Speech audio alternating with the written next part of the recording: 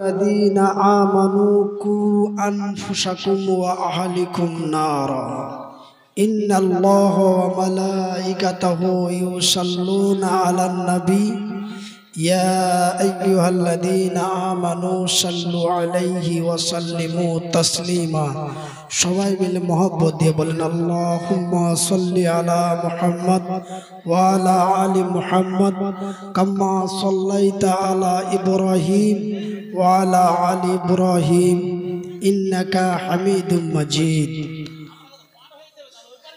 اللهم بارك على محمد وعلى آل محمد كما باركت على إبراهيم وعلى آل إبراهيم إنك حميد مجيد أفضل الذكر محبة بولي لا إله إلا الله لا إله إلا الله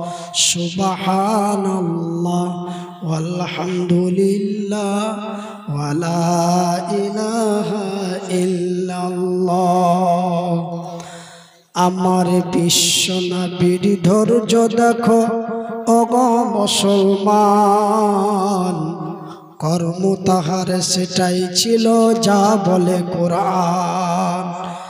আমার নাবি যে একজন ধৈর্যশীল ব্যক্তি ছিলেন তার প্রমাণটা আজকে আপনারা দেখিয়ে দিলেন। যে আপনারা এত রাত পর্যন্ত এই ঠান্ডায়, কুয়াশায় আপনারা ধৈর্য ধরে বসে আছেন যে মনিরুদ্দিন ভাই আসছে। তো আমার রাসুলও ছিলেন এমন একজন ধৈর্যশীল ব্যক্তি যে নাবির উপরে এত অন্যায়, অবিচার, অত্যাচার হওয়ার পরেও আমার রসুল ইসলাম থেকে বিন্দি পরিমাণ সরে যায় নাই, জোরে বলি নারাই তকবীর। নারাই তকবীর। তাই আমার কবি বলছেন, গেলেন তিনি তায়েফেতে, মুক্ত হলেন তাবলিগেতে। কাফেরেরা পাথর মেরে, বেদিনেরা পাথর মেরে, করল লোহলাল। আমার বিশ্ব নবীর ধৈর্য দেখো। অগ মুসলমান, কর্ম তাহার সেটাই ছিল যা বলে কোরআন। জিবিরাইল আসিয়া বলে, পর্বতমালা দেব ফেলে। জিবিরাইল আসিয়া বলে, পর্বতমালা দেব ফেলে। ডুকরে ডুকরে কেঁদে কেঁদে মরিবে শয়তান। আমার বিশ্ব নবীর ধৈর্য দেখো অগ মুসলমান। কিন্তু আমার রসুল কত ধৈর্যশীল ব্যক্তি ছিলেন যে আল্লাহ নবী দিন প্রচারের জন্য সব চাইতে বেশি কষ্ট পেয়েছিলেন। সেই জায়গাটির নাম হলো তায়েব। তায়েববাসীরা আমার রসুলকে এত অত্যাচারভাবে, অন্যায়ভাবে মারল যে আমার আল্লাহ বরদাস্ত করতে পারলেন না। জিব্রাইলকে পাঠালেন। আর জিব্রাইলকে বললেন, জিব্রাইল, দুটি পাহাড় দিয়ে তায়েববাসীকে পিষে আর গোষ্ঠীকে, আর গোষ্ঠীর সৃষ্টি করে দাও মানে বরবাদ করে দাও। তো জিব্রাইল এসে আমার রসুলকে বললেন, রসুল বললেন, জিব্রাইল, আমার আল্লাহ অর্ডার করেছে, আমিও অর্ডার করব। কিন্তু একটা কথা, আমার একটা কথা আল্লাহ দরবারে পৌঁছে দাও। জিব্রাইলের কাজ ছিল নাবির কাছে কথা নিয়ে আসা এবং নাবির কথা আল্লাহর কাছে নিয়ে যাওয়া। এটা ছিল জিব্রাইলের কাজ। মানে আর আজিম থেকে খবর নিয়ে আসে নাবিদের কাছে পৌঁছানো আর নাবিদের খবরগুলি আল্লাহর কাছে পৌঁছানো। এটা হচ্ছে জিব্রাইলের কাজ। আল্লাহ এই দায়িত্ব জিব্রাইলকে দিয়েছে। তো আল্লাহ রসুল বললেন যে তায়েফের এই লোকটা আমাকে মেরেছে, এই লোকটা মেরেছে, ওই লোকটা মেরেছে, ওই লোকটা অন্যায় করেছে, ও পাথর চালিয়েছে, ও গলা টিপেছে, ও ঠ্যাং ধরে টেনেছে। কিন্তু কত নারীর গর্ভে দুই মাসের শিশু আছে, কত নারীর গর্ভে ছয় মাসের শিশু আছে, কত নারীর কোলে দেড় বছরের শিশু আছে এই ছোট ছোট কচি কচি শিশুগুলি আমার উপরে কোনো অন্যায় করে নাই। জোরে বলি সুবাহান আজকে এদের কারণে এই বাচ্চাগুলিকে মেরে দেওয়ার পারমিশন আমি দিতে পারব না, এটা আমার আল্লাহর দরবারে জানিয়ে দাও। দেখেন আমার রসুল কত ধৈর্যশীল ছিলেন। এমনও নারীর গর্ভে এমনও সন্তান আছে যে সেই সন্তানটা হতো একদিন কালেমার পতাকা হাতে নিয়ে তায়েফের মাটিতে ইসলামের দিন প্রচার করতে পারে বা দিন প্রতিষ্ঠা করতে পারে। তো দেখেন, এই জন্য আমার কবি বলছেন কচি কচি শিশু যত একদিন পাবে তারা হেদায়াত। কচি কচি শিশু যত একদিন পাবে তারা হেদায়াত। পবিত্র মুখেতে নেবে পবিত্র মুখেতে নেবে। আল্লাহ যে মহান, আমার বিশ্ব নবীর ধৈর্য দেখো। অগ মুসলমান, কর্ম তাহার সেটাই ছিল, বলে যা কোরআন। সম্মানিত আজকের সভার সভাপতি, আগত ওলমা ইকরাম, সম্মানিত অতিথি বৃন্দ অত্র এলাকা থেকে ছুটে আসা ইসলাম দরদি ভাই এবং বন্ধুরা, বয়োজ্যেষ্ঠ বয়সপ্রাপ্ত বাবসানেরা পর্দা নাসিন মা ও বোনেরা। সর্বাগ্রে ওই মহান স্রষ্টার শুক্রিয়া আদায় করি, যেই মহান রব্বুল আলমিনের অশিস কৃপায় আমরা একটি মসজিদের উন্নতি কল্পে একদিনই মজলিসে উপস্থিত হয়ে গভীর রাত ধরে আল্লাহ ও তার রসুলের দিনের কথা শুনছি। তাই একবার আল্লাহর শুক্রিয়া আদায় করে বলি, আলহামদুলিল্লাহ। আর একবার মোহাব্বত দিয়ে বলি, আলহামদুলিল্লাহ। তারপরে পরেই আমাদের ধর্মের গুরু, ধর্মের নেতা দো জাহানের নবী নবী মুহাম্মাদুর রসুল্লাহ বলুন সাল্লাল্লাহু আলাইহি ওয়াসাল্লাম। সম্মানিত, শিক্ষিত ভাই এবং বন্ধুরা, শিক্ষিতা মা ও বোনেরা, আমি বিশেষ করে পশ্চিমবঙ্গের একজন সুপরিচিত বক্তা, মালদা ডিস্ট্রিক্ট নয়, পশ্চিমবঙ্গের এবং আসাম, ত্রিপুরা, মেঘালয়, অরুণাচল। এই কয়েকটা রাজ্যের আমি সুপরিচিত বক্তা এবং অনলাইনে আমি একজন ভাইরাল বক্তা। ইউটিউব যদি খুলেন, শুধু নামটা বলতে হবে মনিরুদ্দিন। এত ভিডিও আপনার মোবাইলে আসবে যে হয়তো মোবাইলটা হ্যাং হয়ে যেতে পারে। এত ভিডিও আমার আমার এত ওয়াজের ভিডিও মোবাইল মানে অনলাইনে আছে। মোটামুটি পশ্চিমবঙ্গ, আসাম নিয়ে দেড় হাজার চ্যানেল থেকে আমার ভিডিও আপলোড হয়, দেড় হাজার চ্যানেল কত চ্যানেল আমারই নিজস্ব দুটো চ্যানেল আছে। আমার নিজস্ব দুটো চ্যানেল আছে। একটা চ্যানেলের নাম হচ্ছে double M H A TV একটা হচ্ছে M S V Bangla TV কিন্তু আল্লাহর কারিশমা, আল্লাহ সত্য, আল্লাহর কোরআন সত্য আমার আল্লাহ যাহা বলেন তাহাও সত্য। জোরে বলি সুবাহান আমার আল্লাহ তার পবিত্র কোরআনে বলছেন, অত ইস্য মন্তাসা, অত জিল্ল মন্তাসা ভিয়া বিকাল খয়র ইন্নাকা আলা কুল্লি সৈয়িন কাদির। আমি আল্লাহ সম্মানের মালিক, আমি আল্লাহ অসম্মানের মালিক। আমি যখন চাই একজন অসম্মানিত ব্যক্তিকে উঁচু জায়গায় বসাতে পারি আমি একজন ব্যক্তিকে উঁচু জায়গা থেকে রাস্তার ভিখারি বানাইতে পারি, এরই নাম হলো আল্লাহ। সরে বলি সুবাহান আল্লাহ তবে ভাইজান, আমি এমন একজন ভাইরাল বক্তা ছিলাম যে আমার নামে লক্ষ মানুষও জমা হতো। এখনও সেই প্রভাবটা আছে। আপনারা জানেন, গতবার আপনাদের এখানে আমার আসার কথা ছিল। জালসার চার থেকে পাঁচ দিন আগে মারাত্মকভাবে আমার মানে মাথায় রক্ত উঠে গেল, যেটাকে বলে হেমারেস। আমরা যেটা জানি ব্রেন স্টক তো আমার ব্রেন স্টক হলো মানে দক্ষিণ চব্বিশ পরগনা থেকে মেদিনীপুর যাচ্ছিলাম, রাস্তার মাঝে। চলতে চলতেই হঠাৎ আমার জ্ঞান শূন্য সাথে সাথে কলকাতা পিজি হাসপাতালে নিয়ে যাওয়া হলো। দিয়ে পনেরো দিন জ্ঞান ফিরে না। ডাক্তারেরা ক্লিয়ার বলে দিল যে পেশেন্ট বাঁচানো সম্ভব নয়। আমার স্ত্রী ছিল, আমার ভাগিনে ছিল, আরও অনেকেই ছিল।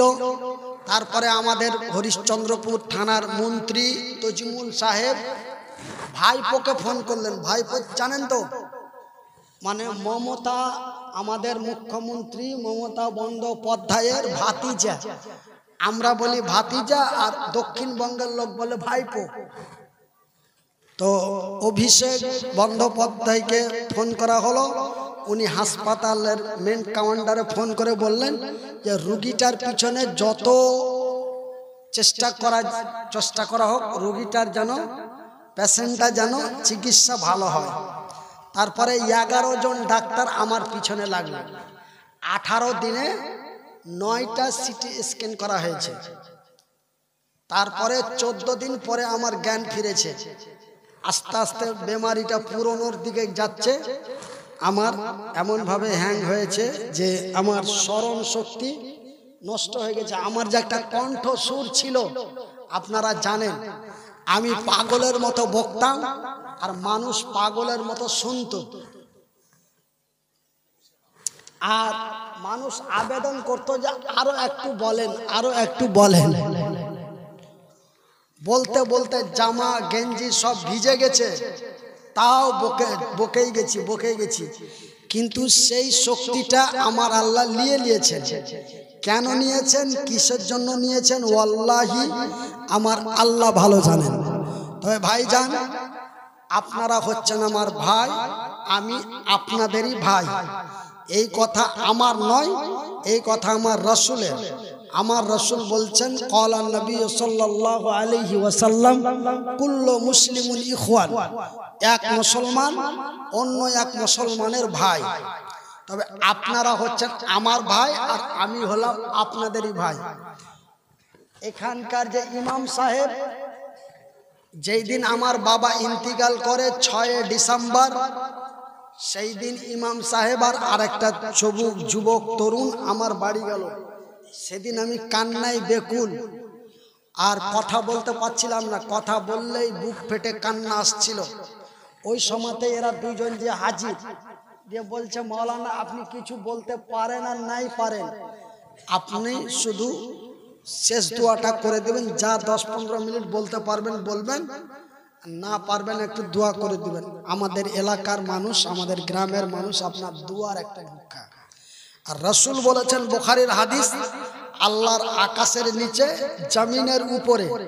মহান আল্লাহ রব্বুল আলমিন তিনজন ব্যক্তির দোয়া কবুল করেন। কয়জন? তিনজন। একজন সাহাবি প্রশ্ন করলেন, ইয়া রসুল আল্লাহ ওই তিনজন কারা? আল্লাহ রসুল বললেন ওই ব্যক্তির দু আল্লাহ রিটার্ন করেন না, যেই ব্যক্তিটি হলো আল্লাহর জমিনে মুসাফির। ওই ব্যক্তির দু আল্লাহ রিটার্ন করেন না, যেই ব্যক্তিটি হলো আল্লাহর জমিনে মাজলুম। ওই ব্যক্তির দু আল্লাহ রিটার্ন করেন না, যেই ব্যক্তিটা আল্লাহর জমিনে মা। মুসাফির, মাজলুম এবং মা। এই তিনজনের দোয়া আল্লাহ রিটার্ন করেন না সহি আল বুখারি বুখারির হাদিস। আমি একজন মাজলুম অসহায়। এখন আমি নিজের হাতে খেতে পারি না, আগে নিজের হাতে খেতে পারতাম। নিজের সমস্ত কাজ আমি নিজেই করতে পারতাম, বাথরুম, পায়খানা, সমস্ত কিছু নিজের শরীরের হেফাজত নিজেই করতে পারতাম। কিন্তু এখন আমার এই মাথার এই সাইড থেকে নিয়ে এই সাইডটা টোটাল মরে গেছে মানে ডাউন হয়ে গেছে। এই চামগুলো তো আমার কোনো শ্বাস নাই। এটা লাড়ি তো বোঝা যায় না যে আমার এই হাতটা ঠেকেছে। এই চামগুলো নষ্ট, এই পেটের চামড়াগুলো, বুকের চাম চামগুলো, এই হাতটা কাজ করে না। আমার আগে বক্তব্যর সময় বাম হাতটাই চলতো এবং বাম হাতটা ছিল আমার অতি শক্তিশালী। সে আমার বাম হাত এবং বাম পাটা নষ্ট। এখন আমাকে উঠিয়ে নিয়ে যেতে হয় বাথরুমে, ধরে থাকে। বাথরুম সারানো হয়, বিবি আমার সাফ সাফাই করে দেয়। এখন আমার স্ত্রীকে ছাড়া আমি এক পা কোথাও যাওয়ার ক্ষমতা আল্লাহ নিয়ে নিয়েছে। কেন নিয়েছে, কিসের জন্য নিয়েছে? ওয়াল্লাহি আলাম, আমার আল্লাহই ভালো জানেন। তো আল্লাহর কোরআন সত্য, আল্লাহ বলছেন, আমি দিতেও পারি, আমি নিতেও পারি। আমি এক, দুই করে চোদ্দ বছর ভিক্ষা করেছিলাম। তারপরে চোদ্দ বছর লেখাপড়া করেছি। মা ভিক্ষা করে আমাকে লেখাপড়া করিয়েছিল। তারপরে আল্লাহ আমার এই হাতটাকে এরকম করে দিল। মানে এইভাবে হচ্ছে নেওয়া আর এইভাবে হলো দেওয়া। আমার হাতটা ছিল এরকম। লেখাপড়া কমপ্লিট করার পরে আল্লাহ আমার হাতটা করে দিল এরকম। মানে দেওয়ার শক্তি দিল। এখন মহান আল্লাহ এই শক্তিটা পুনরায় নিয়ে এখন আমার দেড় বছর থেকে চিকিৎসা চলছে আপনাদের সহযোগিতা, সাহায্য নিয়ে। আপনাদের কালিয়াচক বৈষ্ণবনগর, ষোলো মাইল, ফারাক্কা, বিভিন্ন জায়গা থেকে আমার অ্যাকাউন্টে পয়সা পাঠাচ্ছে। যারা আমার ভক্ত, আমাকে ভালোবাসেন। আর ওই টাকা ব্যাংকে থেকে উঠাচ্ছি আর চিকিৎসা করছি। জলপাইগুড়িতে পাঁচ মাস দেখালাম, পিজিতে দেখালাম এক মাস। পিজিতে ছুটি দিয়ে দিল, সরকারি হাসপাতাল, আঠারো দিন রাখার পরে ছুটি দিয়ে দিল। তারপরে পাঁচ মাস দেখালাম জলপাইগুড়ি, মোহিতনগর। ওখান থেকে এখন বর্তমান আমার চিকিৎসা চলছে বহরমপুর। তো আমি যে আলোচনাটা করার জন্য কোরআনের আয়াত পাঠ করেছি, ইয়া আইয়ুহাল্লাদিন আমানু, আমার আল্লাহ বলছেন, আয় ইমান ওয়ালো রে বিশ্বাসী গণেরা যারা আমাকে এক আল্লাহ সারিক আলাহু বলে বিশ্বাস করেছ এবং আমার নাবিকে নাবি বলে স্বীকার করেছ, তোমরা শোনো, তুমি বাঁচো এবং তোমার আহাল পরিবারদের বাঁচাও। তবে আপনার আমার ভাই, আমি আপনাদের ভাই, এই কথাটা রসুল বলেছেন। আর আল্লাহ বলছেন, তুমি বাঁচো এবং তোমার আহাল পরিবার, ভাই, বন্ধু, বাবা, চাচাদের বাঁচাও। কোথা থেকে বাঁচাও? নারা, ওই কঠিনময় জাহান নামের আগুন থেকে বাঁচাও। তবে জাহান নাম কত ভয়াবহ জায়গা যে আল্লাহ আমাকেও বাঁচতে বলছেন এবং আমার আত্মীয় স্বজনদেরকেও বাঁচাতে বলছেন। তবে জান্নাত কত খাতারনাক জায়গা, এই কথাটা আপনাদের বলি আমি। জাহান নাম কত খাতারনাক জায়গা, আই এম সরি। বলতে আমার মিস্টেক হয়েছে, জান্নাত বলে ফেলেছি। জাহান নাম কত খাতারনাকময় জায়গা আমার আল্লাহ রব্বুল আলমিন একদিন জিব্রাইলকে ডাক দিলেন, জিব্রাইল, আমার জমিনে যাও আর আমার জমিনে যেয়ে আমার নবীকে সঙ্গে নাও। আর আমার নবীকে সঙ্গে নিয়ে আমার আরশে আজিম থেকে আমার সার্বভৌমত্ব, আমার রসুলকে ভ্রমণ করিয়ে দাও। আকাশ, জমিন, চন্দ্র, সূর্য, নক্ষত্র, উপগ্রহ, মঙ্গল গ্রহ, মহাশূন্য, সমস্ত কিছু ভ্রমণ করিয়ে দাও। এমনকি জিব্রাইল, শোনো, আমার রসুলকে আমার জান্নাতটাও দেখিয়ে দিও এবং আমার জাহান্নামটাও দেখিয়ে দিও। জোরে বলি তবে অন্য কোন নাবিদেরকে এবং জাহান্নাম এবং পুরো আকাশ, জমিন, চন্দ্র, সূর্য ভ্রমণ করা হয়নি। জিনাকে করা হয় যে তিনি আর কেউ নাই, তিনি হচ্ছেন আমার রসুল। জোরে বলি, আলহামদুলিল্লাহ। আমরা সেই নবীরই উম্মত আবার বলি আলহামদুলিল্লাহ। তো আমার রসুলকে যখন জাহান্নাম দেখাতে নিয়ে গেলেন তো জাহান্নামের যখন কাছাকাছি গিয়েছে, তো জাহান্নামের ভিতর থেকে বিকট আওয়াজ বেরিয়ে আসছে। আল্লাহ রসুল থমকে দাঁড়িয়ে গেলেন। আমি কিন্তু বোখারির শরীফের ঘটনা বলছি, কোনো বানানো কেসা না মেরাজের ঘটনা। আর এই ঘটনাটা বোখারিতে পাওয়া গেছে। তো আল্লাহ রসুল দাঁড়িয়ে জিব্রাইলকে বলছেন যে জাহান নামের ভিতর থেকে আওয়াজ আসে। তো এ তো মনে হয় জাহান নামের আওয়াজ নয়। এটা তো এগুলো তো এই আওয়াজ তো জাহান নামীদের আওয়াজ। এবার জাহান নামের নিকটবর্তী যাওয়া হলো।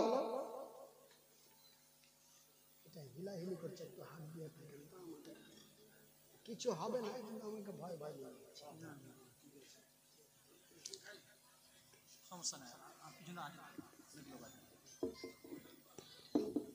তো জাহান নামের নিকটে যে জাহান নামের দরওয়াজাটি যখন খুলে দেওয়া হলো, তো দেখা, যারা চিৎকার করছিল, তারা হচ্ছে আল্লাহর বান্দি মানে মহিলা। তো তারা হচ্ছে মহিলা। তো আল্লাহ রসুল দেখলেন ওরা চিৎকার করছে, কিসের জন্য? ওরাকে পিটাচ্ছে, তার জন্য চিৎকার করছে না। তারা প্রসাব যন্ত্রণায় চিৎকার করছে, জোরে বলি সুবাহান মানে বাচ্চা হওয়া ব্যথাই তারা চিৎকার করছে। এবং এক একটা মহিলার পেটের ভিতরে অগণন বাচ্চা। মানে যা অগণন বলা হয়, যা যা গুণা যায় না। বাথরুমের ট্যাঙ্কিতে, পায়খানার যে পোকাগুলো যেমন গুণান যায় না, কিলবিল কিলবিল করে, ঠিক এমন কিলবিল কিলবিল করছে অগণন বাচ্চা। আল্লাহ রসুল জিব্রাইলকে বললেন যে, এই নারীগুলি কারা? যে এদেরকে এই শাস্তি দেওয়া হলো। এরা কারা? এরা কি এমন অন্যায় করেছিল? এরা কি এমন অবিচার করেছিল যে তাদেরকে এই শাস্তি দেওয়া হয়েছে? জিব্রাইল উত্তরে উত্তরে বললেন, ইয়া রাসূল আল্লাহ ইয়া হাবিব আল্লাহ এই নারী, এই নারীগুলি হলো ওরা যাদেরকে আল্লাহ রূপ দিয়েছিল, রূপের হেফাজত করে নাই। তারা রূপ চর্চা করে, রূপ চর্চা রঙ্গ করে রাস্তা পথে চলেছে, আর হাজারো পুরুষ তাদের দিকে দৃষ্টিপাত করেছে। আর প্রত্যেকটা দৃষ্টিতে একটা করে বাচ্চা তাদের পেটের মধ্যে দেওয়া হয়েছে। তবে ধরেলেন আমার একটা মেয়ে, বয়স যখন বারো হলো, আমার মেয়েটা পূর্ণ যুবতী হয়ে গেল। তো বারো বছর বয়স থেকে নিয়ে বিয়াল্লিশ বছর বয়স পর্যন্ত, তবে বারো থেকে বিয়াল্লিশ কত হলো ভাই? তিরিশ। তবে কত? বারো থেকে বিয়াল্লিশ। বারো বছরের যুবতী হলো আর তিরিশ বছর বিয়াল্লিশ বছর পর্যন্ত মেয়েটা বেঁচে থাকল। বারো থেকে বিয়াল্লিশ মানে তিরিশ বছর। ওই যে তিরিশটি বছর ধরে আমার মেয়েটা বেহায়া, বেপর্দা, লীলজ্জা, রঙ্গ করে অর্ধ উলঙ্গ হয়ে রাস্তায় চলেছে। আর হাজারো পুরুষ তাদের দিকে দৃষ্টিপাত করেছে। জিব্রাইল বললেন, প্রত্যেকটা দৃষ্টিতে একটা করে বাচ্চা তাদের পেটের মধ্যে দেওয়া হয়েছে। যেটাকে বলা হয় চোখের জেনা। মানে মিলনের পরে তো বাচ্চা হয় নাকি ভাই? তো একটা হচ্ছে একটা হলো জেনা, একটা হচ্ছে ব্যবিচার। কাজটাই একই, একটা হচ্ছে সহবাস। কাজিয়া কিন্তু নাম তিন। নাম তিনটা কিন্তু কাজ একই। যেটা সহবাস, ওটাই জেনা, ওটাই ব্যবিচার।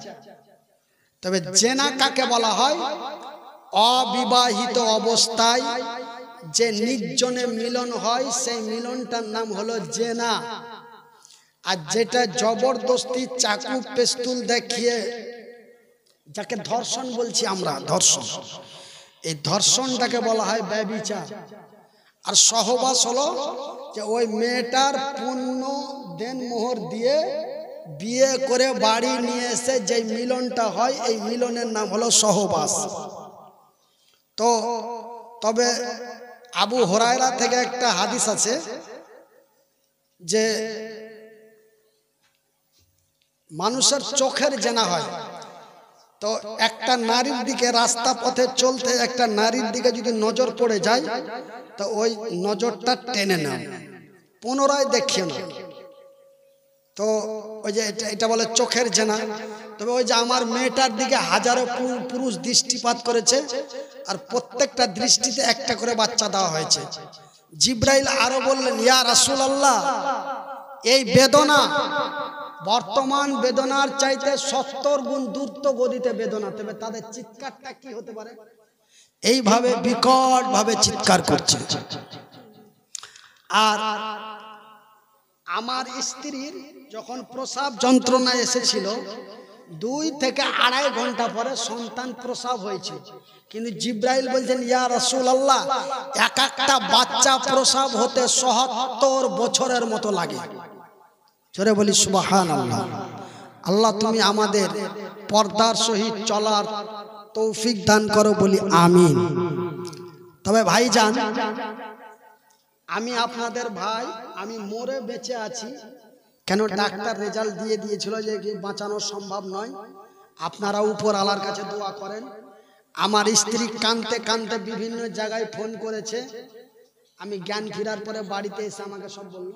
প্রত্যেকটা জায়গায় আমার জন্য জান- মানে জামাতবদ্ধ হয়ে দোয়া হয়েছে। আপনাদের দোয়ায় আল্লাহর দয়ায় আল্লাহ আমাকে পুনরায় ফিরিয়ে দিয়েছে। বলি আলহামদুলিল্লাহ। আপনাদের দোয়ায়, আল্লাহর দয়ায় আমাকে আল্লাহ ফিরিয়ে দিয়েছে। কতদিনের মতো হায়াত দিয়েছে জানি না আল্লাহি আমার আল্লাহ ভালো জানেন তবে আমার বর্তমান চলতে ফিরতে খুব কষ্ট হয়। আপনাদের কাছে আমি অনুরোধ করব, যিনারা তাহাজিদের নামাজ পড়েন এবং যিনারা পাঁচ অক্ত নামাজ পড়েন, খেয়াল করে করে, একটু লক্ষ্য করে আমার জন্য দোয়া করবেন, যেন আল্লাহ আমাকে পূর্ণ সুস্থতা দান করেন। এবং আগের জায়গাটাতে আমাকে পৌঁছে দেয়। কেন ভাই, আমার একটা ছেলে আছে, আমার একটা মাদ্রাসা আছে। এটাই ছিল আমার ভাত ভিক্ষা। এই বক্তব্য দিয়ে কিছু হাদিয়া আপনার কমিটির লোক দেয়। এই হাদিয়াটা দিয়েই আমি একটা মাদ্রাসা চালাতাম।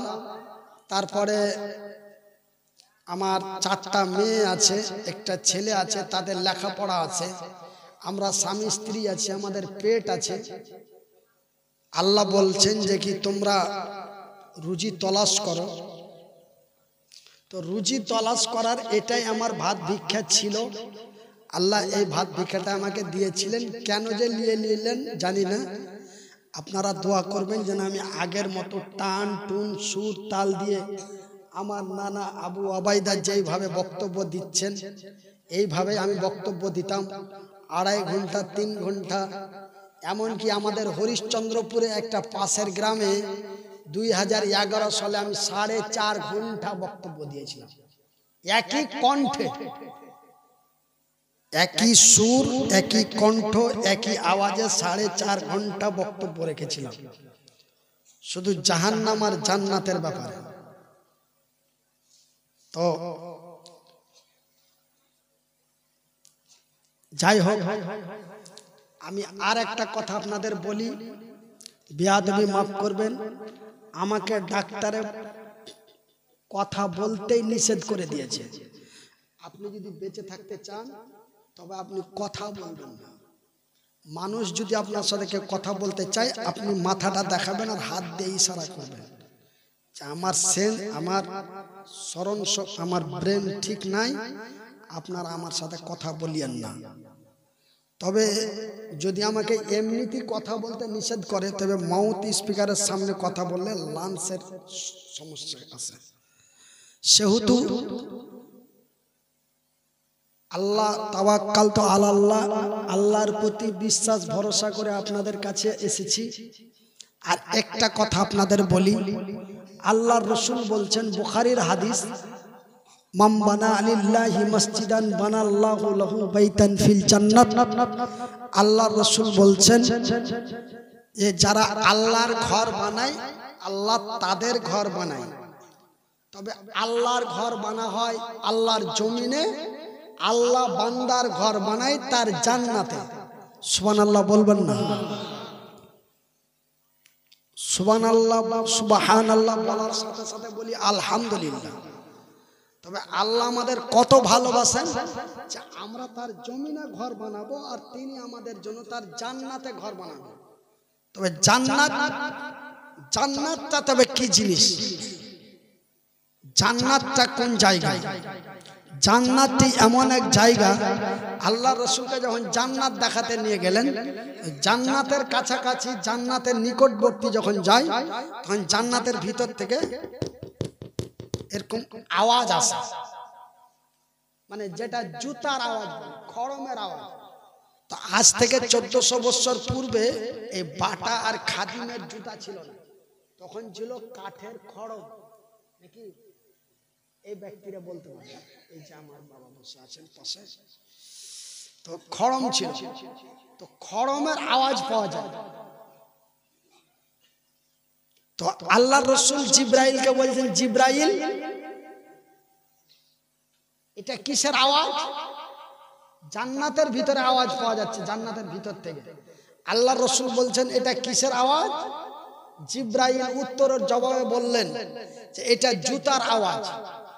এটা জান্নাতের ভিতরে এখনই জুতার আওয়াজ পাওয়া যাচ্ছে, সেটা কে? জিব্রাইল বলেন সেটা আর কেউ নয় তিনি হচ্ছেন হাজরাতে বিলালের আওয়াজ, জোরে বলি সুবহানাল্লাহ। নারে তাকবীর। হাজরাতে বিলাল একজন নওজোয়ান তরুণ যুবক, নাবির কত ভালোবাসা এবং আল্লাহর কত সন্তুষ্টি লাভ করেছিলেন যে মেয়েরাজে যে বিলাল যে জান্নাত যাবে আর জান্নাতে যে হাঁটা চলা করবে, সে আওয়াজটা আল্লাহ নবী বেঁচে থাকা অবস্থায় আমার আল্লাহ তাকে জানিয়ে দিয়েছেন যে কি, জান্নাতের ভিতরে যে আওয়াজ পাওয়া যাচ্ছে, সেটা হাজরাতে বিলালের জুতার আওয়াজ। জোরে বলি তবে ভাই, আজকের যে জলসাটা, সেটা নৌজোয়ান তরুণ যুবক, যুবকেরা করেছে বলি আলহামদুলিল্লাহ।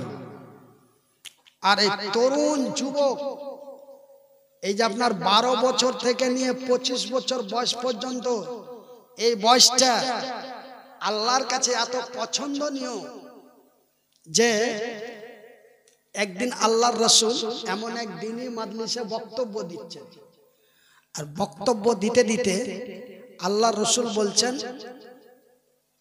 আমার আল্লাহ তরুণ এবং তরুণী ছাড়া যুবক এবং যুবতী ছাড়া চ্যাংড়া এবং চেংড়ি ছাড়া নৌজওয়ান এবং নৌজওয়ানি ছাড়া, আমাদের লোকাল ভাষায় বলে ছুঁড়া এবং ছুরি ছাড়া।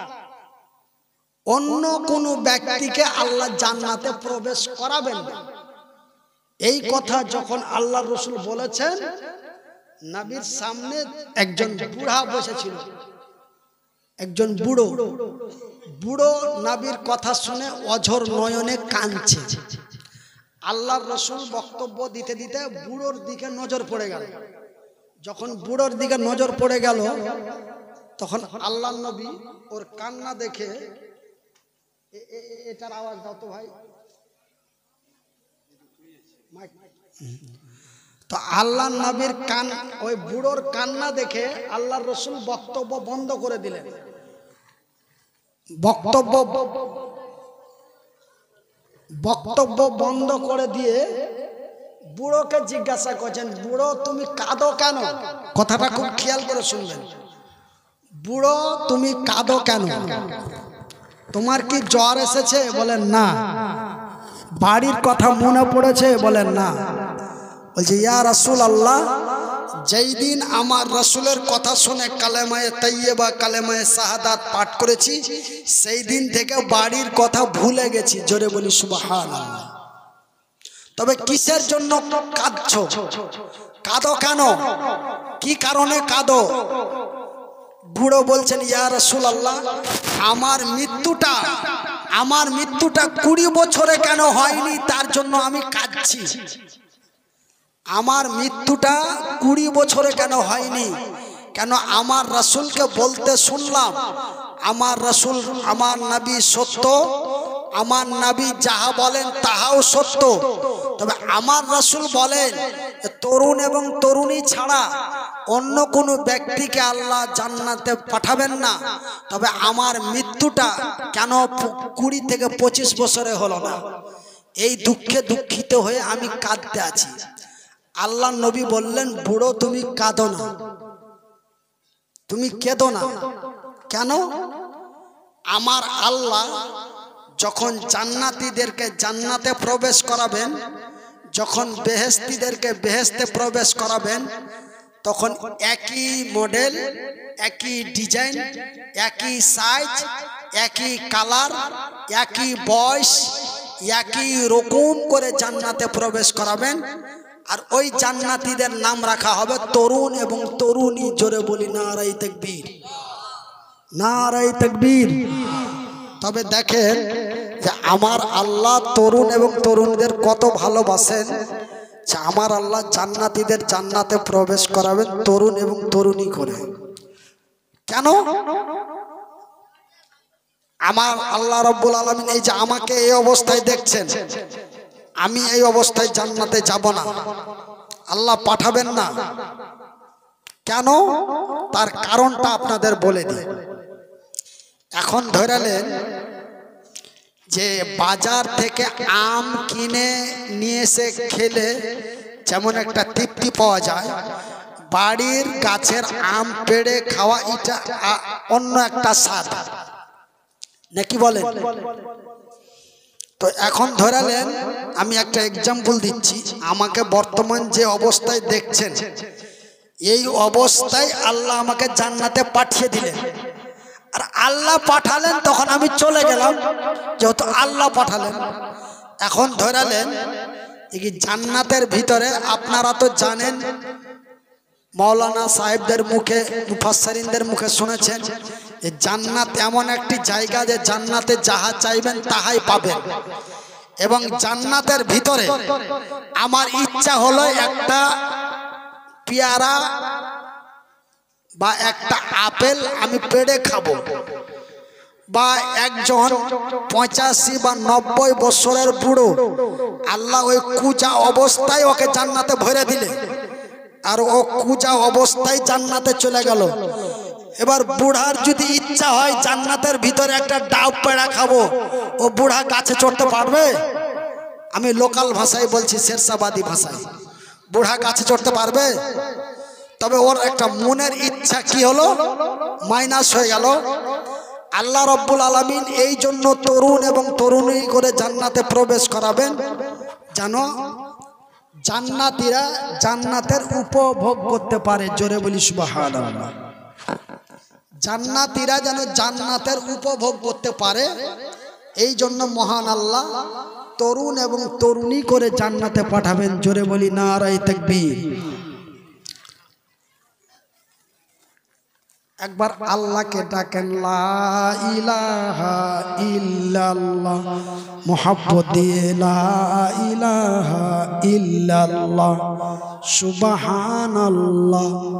আলহামদুলিল্লাহ, সুবহানাল্লাহ, আলহামদুলিল্লাহ ওয়ালা ইলাহা ইল্লাল্লাহ ওয়ালা ইলাহা এবার আপনারা যদি এর পরে বেশি লাগিয়ে দেন মুহাম্মাদুর রসুল্লাহ এটা কিন্তু ভুল হয়ে যাবে। কেন? বোখারির হাদিস আফজালু জিক্রে লা ইলাহা ইল্লাল্লাহ। এর আগে যাওয়া যাবে না, কেন? মোহাম্মদ নামে কোনো জিকির করা যায় না। জিকির হয় আল্লাহর নামে। এই জন্য হাদিসে বোখারিতে এসেছে, আফজালু জিক্রি লা ইলাহা ইল্লাল্লাহ। অনেক জায়গায় মুহাম্মাদুর রসুল্লাহ বলে, কিন্তু আমি যেদিন থেকে এই হাদিসটা পড়েছি, সেদিন থেকে মুহাম্মাদুর রসুল্লাহ মানে জিকিরের সাথে পড়া বাদ দিয়ে দিয়েছি। জিকির যখন হবে, শুধু লা ইলাহা ইল্লাল্লাহ, লা ইলাহা ইল্লাল্লাহ, লা ইলাহা ইল্লাল্লাহ। বাস।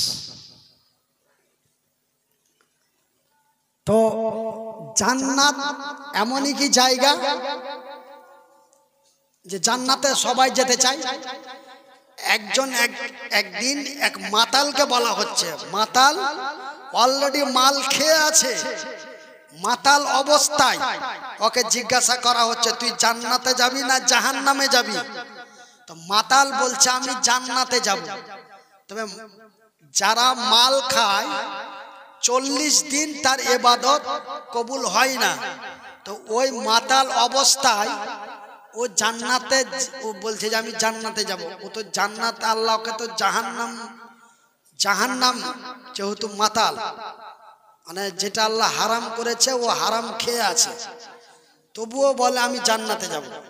একজন খ্রিস্টানকে বলা হয়, স্বর্গে যাবি না নর্গে যাবি? তো খ্রিস্টান বলছে, আমি স্বর্গে যাব। একজন হিন্দুকে জিজ্ঞাসা করা হয়, স্বর্গে যাবে না নর্গে যাবে? ও বলে, স্বর্গে যাব। স্বর্গ মানে জান্নাত, নর্গ মানে জাহান্নাম। আমরা বলি জান্নাত এবং জাহান্নাম, অমুসলিমেরা বলে স্বর্গ এবং নর্গ। তবে স্বর্গে সবাই যেতে চায়, নর্গে কেউ যেতে চায় না। কেন? স্বর্গটা কি জিনিস? জান্নাতটা কি এমন জায়গা যে সবাই যেতে চায়? বেনামাজি, সুদখোর, মদখোর, জেনাখোর, সবাই জান্নাতে যেতে চায়। আমি আজকে দেড় বছর থেকে বিছানায় পড়ে আছি। একই রকম দোয়া করছি, আল্লাহ, তুমি মরণের সময় কালেমা নাসিব করিও। এবং মৃত্যুর পরে তুমি আমাকে জান্নাত দিও। তবে জান্নাতটা কেন চাই? জান্নাত এমন একটি জায়গা জান্নাতের ভিতরে যাহা চাইবেন তাহাই পাবেন। এখন আপনারা আমাকে এত ভালোবাসেন এক বছর থেকে আমাকে একটু দেখার জন্য, আমার একটু দোয়া নেওয়ার জন্য আপনারা চেয়ে বসে আছেন। আপনারা আমাকে এত ভালোবাসেন। শুধু আপনারা নয় বিভিন্ন জায়গার মানুষ। আগামী কালকে আমি যাব আসাম। এই সাক্ষাৎকার হিসাবে, এই দেখা সাক্ষাৎ হিসাবে মানে আগের মতো আর বক্তব্য, কণ্ঠস্বর যেহেতু নাই। হুজুর, আপনি পাঁচ থেকে দশ মিনিট বসবেন, কিন্তু আপনি আসেন। শুধু আপনার দোয়াটা চাই। তো আমি আগামী কালকে সন্ধ্যায় গাড়ি ছাড়বো পরশু দিন সকালে পৌঁছাবো। তার মানে প্রায় সাড়ে পাঁচশো কিলোমিটার রাস্তা। তো কুয়াশার দিন রাতারাতি বেরিয়ে যায়। রাতারাতি বের হলে নির্জনে সুন্দরভাবে যাওয়া যায়। দিনের বেলায় ভিড় গ্যাঞ্জাম হয়, ওই জন্য রাত্রি বেলায় যাই তো আমি সফরের হালাতে দোয়া করব আপনাদের জন্য। বর্তমান তো করব এবং মুসাফির হালাতেও করব। তো আমার এই কথাটা বলার উদ্দেশ্য হলো যে আমি এক মুসাফির হরিশ্চন্দ্রপুর থেকে এসেছি কালিয়াচক। কালিয়াচক থেকে যাব আসাম ধুবড়ি ধুবড়ি থেকে যাব গৌহাটি। গৌহাটি থেকে আবার আসব নগাঁও। নগাঁও থেকে যাব মরিগাঁও। মরিগাঁও থেকে আবার যাব সুনিতপুর। একটা জেলার নাম, আমি যেগুলো বললাম, নগাঁও, মরিগাঁও, সুনিতপুর, এগুলো ডিস্ট্রিক্টের নাম। ধুবড়ি একটা ডিস্ট্রিক্টের নাম। যেমন আমাদের মালদা মালদা, মুর্শিদাবাদ, নদিয়া, উত্তর, দক্ষিণ, চব্বিশ পরগনা, পূর্ব, পশ্চিম বর্ধমান, পূর্ব, পশ্চিম মেদিনীপুর, ঠিক আসামের এগুলো ডিস্ট্রিক্টের নাম। নগাঁও, মরিগাঁও, ধুবড়ি, কোকড়াঝাড়, কামরূপ, হাইলাকান্দি, শিলচর হাইলাকান্দিটা হচ্ছে আপনার মেজোরামের পার্শ্বে। মানে হাইলাকান্দি থেকে সাড়ে এগারো কিলোমিটার গাড়ি চালালেই আসামের সীমা শেষ, পড়ে যাবে মেজোরাম। আর মেজোরামের ভিতরে একশো বিয়াল্লিশ কিলোমিটার গাড়ি চালাইলে পড়ে যাবে বার্মা। মানে বার্মা মানে যে ওই যে মায়ানমার যে মারামারি করে এখন বাংলাদেশে পড়ে আছে। তারা হচ্ছে মাজলুম। আল্লাহ রসুল বলছেন, বুখারির হাদিস মাজলুম যদি দোয়া করে, আল্লাহ মাজলুমের দোয়া ফিরিয়ে দেয় না। যখন অং সং যখন পিটিয়ে পিটিয়ে মারতে লাগল, বার্মা রোহিঙ্গিয়ার লোককে, ওরা মাঝ পাথারে এসে বিপদে পড়ে গেল। বাড়ি নাই, ঘর নাই, দুয়ার নাই, কিছু নাই। লক্ষ লক্ষ টাকা বিঘার বিঘা জমি ছেড়ে এসে, নাপ নদী, একটা নদীর নাম হলো নাপ নদী। ওই নাপ নদীর তীরে এসে এসে বাংলাদেশিরা ঢুকতে দিচ্ছে না।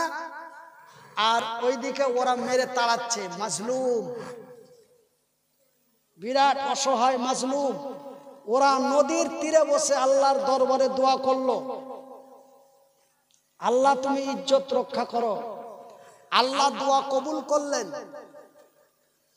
এই পৃথিবীর একজন ব্যক্তি নামটা আমার স্মরণে আসছে না তিনি হচ্ছে তুর্কির প্রধানমন্ত্রী। আহ? এরদোগান। এরদোগান তখন সাথে সাথে ফোন করল শেখ হাসিনাকে। শেখ হাসিনা?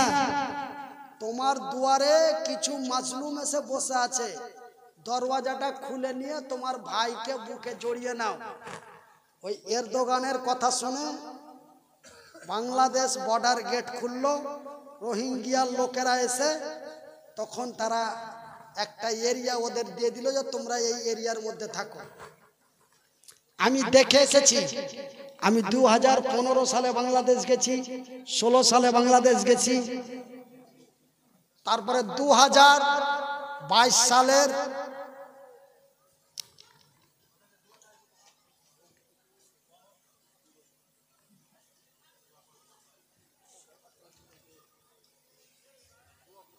আচ্ছা দোয়া হয়ে যাবে। হয়ে আচ্ছা দোয়া করে দেবো। দো- দোয়া করার জন্যই আমি এই শেষ কথাটা আপনারা শোনাচ্ছি। তো আমি যে কথাটা বলতে যাচ্ছিলাম যে জান্নাত এমন একটি জায়গা যে জান্নাতের ভিতরে আপনি যাহা চাইবেন তাহাই পাবেন। তবে চাইতে হবে না। এখন একটা ছোট ছোট এক্সাম্পল আপনাদের দিচ্ছি। এখন যদি আপনাদের বলি যে আমাকে একটা চা দেন বা এক গ্লাস দুধ দেন, যদি বলি, তবে বলতে, আনতে অন্তত পাঁচ মিনিট নাকি? বলতে, আনতে কত মিনিট? অন্তত পাঁচ মিনিটের আগে আপনারা আমার জন্য যতই জীবন দেন ভালোবাসেন, আমাকে পাঁচ মিনিট আগে এক গ্লাস দুধ বা এক কাপ চা দিতে পারবেন না। কিন্তু জান্নাত এমন একটি জায়গা যে যদি আপনার অন্তর বলে চা, তো চা নিজেই এসে বলবে খা। সুবহানাল্লাহ বলা যাবে না। মোহাব্বত দিয়ে বলি সুবাহান আল্লাহ তারপরে পরে বলি আলহামদুলিল্লাহ। তবে জান্নাত এমন একটি জায়গা যে আমি যদি বলি চা, তো চা এসে বলবে খা।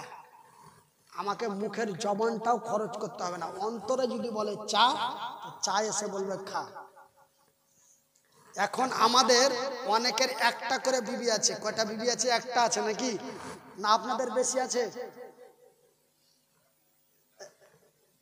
খান করে? ইয়ে কোন কথা তবে আমাদের প্রত্যেকের একটা করে বিবি আছে। কিন্তু আমরা যদি আরও একটা বিবির জন্য চেষ্টা করতে যাই, তো মানে ওর উপরে মানে জাহান নামের আজাব চালু হয়ে যাবে। মানে ওর জাহান নামে থাকা মেলাই ভালো। বুঝতে পারলেন? একটা বক্তা একদিন গল্প করছে, ওর তিনটা স্ত্রী। তুই বলছে, ভাই, যার দুটা তিনটা স্ত্রী আছে, আল্লাহ কবরে ওর হিসাব নিবে না। কেনা ভাই, কেনা?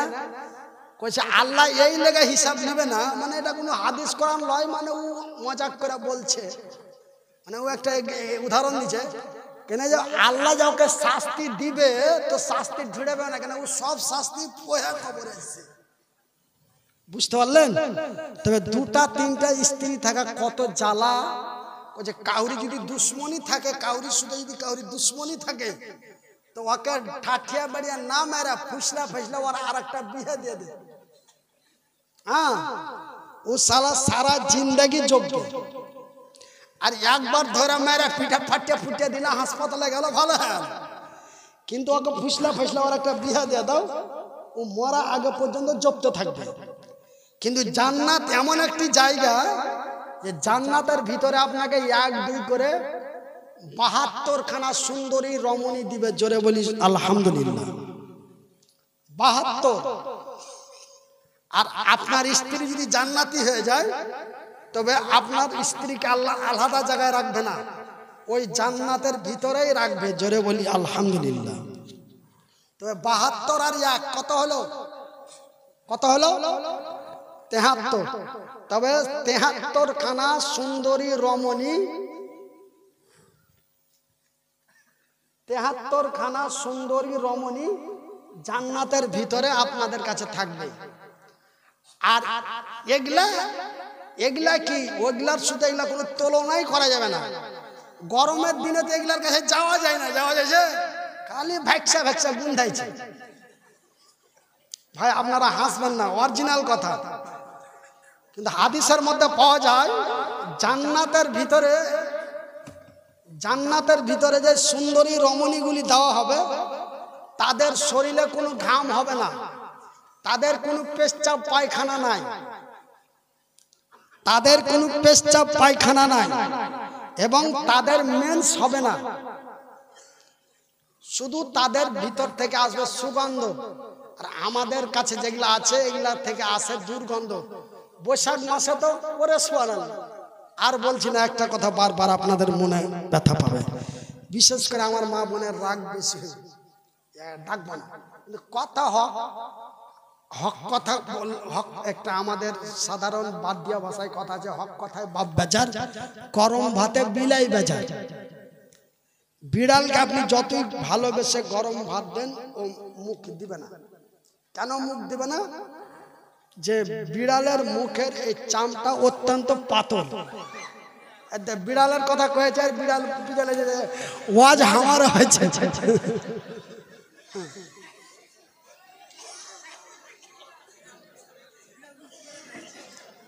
বিড়াল বুঝছে যে কি ওয়াজ হামারা হয়েছে।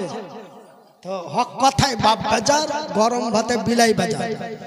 বাপকে যদি হক কথা বলা যায়, বাপ বলে, ইডিয়েট, বেয়াদব বাপের সামনে বড় বড় কথা বলছি, জুতা খুলে জুতা ফাটিয়ে দিব।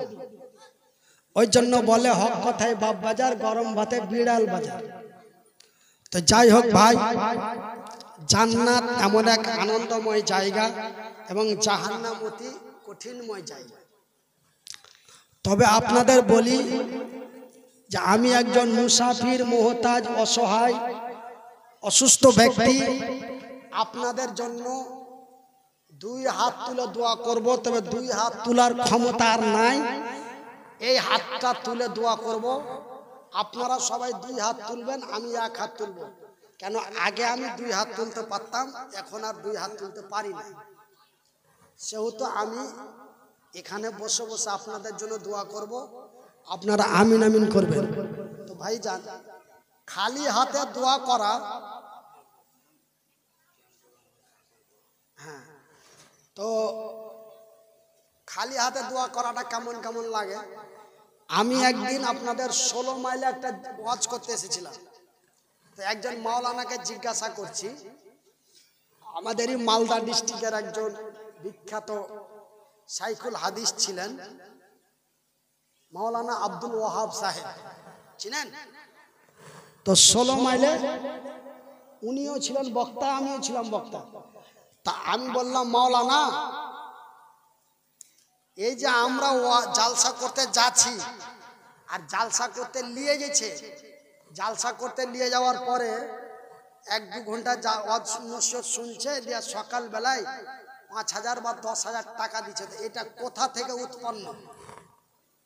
এটা কি আল্লাহ আল্লাহ রসুলের বিধানের মধ্যে আছে? এই যে জালসা করাইছে আর জালসা করছে, টাকা দিচ্ছে আর টাকা লিছি এটার উৎপন্ন নাবিদের জামানা থেকে না সাহাবিদের জামানা থেকে না তাবে তাবেইনের জামানা থেকে? তো উনি আমাকে বললেন, খ্যাপা, তুই এটা জানিস না? মক্কা মদিনার লোকেরা আল্লাহ নবীকে ডাকতো, দাওয়াত দিয়া ডাকতো। দেখা বলতেন যে, হুজুর আগামী কালকে আমার বাড়ি আসছে। আমরা কিছু দিনের কথা আপনার মুখ থেকে শুনব। দিয়ে আল্লাহ রসুলকে দাওয়াত করতেন, আল্লাহ রসুল যেতেন, কিছু দিনের কথা শোনাতেন, দিনের কথা শোনার পরে যখন ওই বাড়িটা থেকে বিদায় নিত, তখন ওই বাড়ির মালিক পকেটে হাত ভরে কিছু হাদিয়া, কিছু নজরানা আল্লাহ নবীর হাতে দিত। হুজুর, আপনি কিছু খায়েন? কেন উনি তো দিনের কাজেই বাড়ান, তার ঘর সংসার, পরিবার আছে। তো এবার কন্ট্যাক্টটা চলে এলো এখানে। যে এখন হরিশ্চন্দ্রপুর থেকে আপনাদের এই জায়গাটা হলো দেড়শো কিলোমিটার। ধরে নেন কন্ট্যাক্টটা এখান থেকে আইলো। মেলা জায়গা প্রশ্ন করে, আপনারা বিনা প্রশ্ন করাতে কথাটা শুনিয়ে দিচ্ছি। তো প্রশ্ন করেন যে, তবে কন্ট্যাক্টটা কেন এলো আল্লাহ নবীকে মুঠ বুঞ্জা দিলে আর আল্লাহ নবী নিয়ে চলে গেল। কিন্তু মনির উদ্দিনকে যে বিশ হাজারের নিচে যাব না বিশ হাজার লাগবে, এটা কোনটা থেকে আইলো? বিশ হাজার লাগবে আর পনেরো হাজার লাগবে, এটা কোনটা থেকে আইলো? এটা এলো আপনার কাছ থেকে। এটা আপনার কাছ থেকে এলো এটা রসুলের জামানায় লয়, এটা সাহাবিদের জামানায় লয়। এখন আমি তিরানব্বই টাকা লিটারের তেল পুড়িয়ে দেড়শো কিলোমিটার রাস্তা আইনি। খরচ হলো আমার সাড়ে পাঁচ হাজার টাকা আমাকে দিচ্ছেন। হ্যাঁ মূল বিষয় তো কিছু কহেনি, দেড় হাজার দে। তবে দেড় হাজার যদি দেন আর আমার পাঁচ হাজার খরচ, তবে আমার পঁয়ত্রিশশো টাকা করে লাগিয়া লাগিয়া লাগিয়া, লাগিয়ে আল্লাহ যা আমাকে অর্থ দিয়েছে, ওটিও চলে যাবে। তখন আমাকে ওই পাঁচ হাজার টাকা লাগবে, এটা বলতে আপনারা বাধ্য করেছে। এটা আপনাদের জামানা থেকে এসেছে। তো ভাই যান তো আল্লাহ নবীর কাছে মানুষ খালি হাতে দিনের কথা শুনেনি। কিছু হাদিয়া দিয়ে শুনেছে তো আমি আপনাদের জন্য দোয়া করব। তো এই খালি হাতটাতে দোয়া করতে একটা কেমন কেমন লাগছে? মানে মনের মনের কথা, অন্তরের কথা আপনাদেরকে খুলে বলতে পারছি না এবং বুকটা কাইটা দেখাইতে পারছি না। এটা সম্ভব নয়। এটা সম্ভবের বাইরে। সেহেতু আমি এই হাতটা দিয়ে দোয়া করব। রাসূল বলছেন মাম বানা লিল্লাহি মসজিদান বানাল্লাহু লাহু বাইতান ফিল জান্নাত। তো আল্লাহর জান্নাতের ঘরের লেগে। তো জান্নাতে ঘর লাগবে।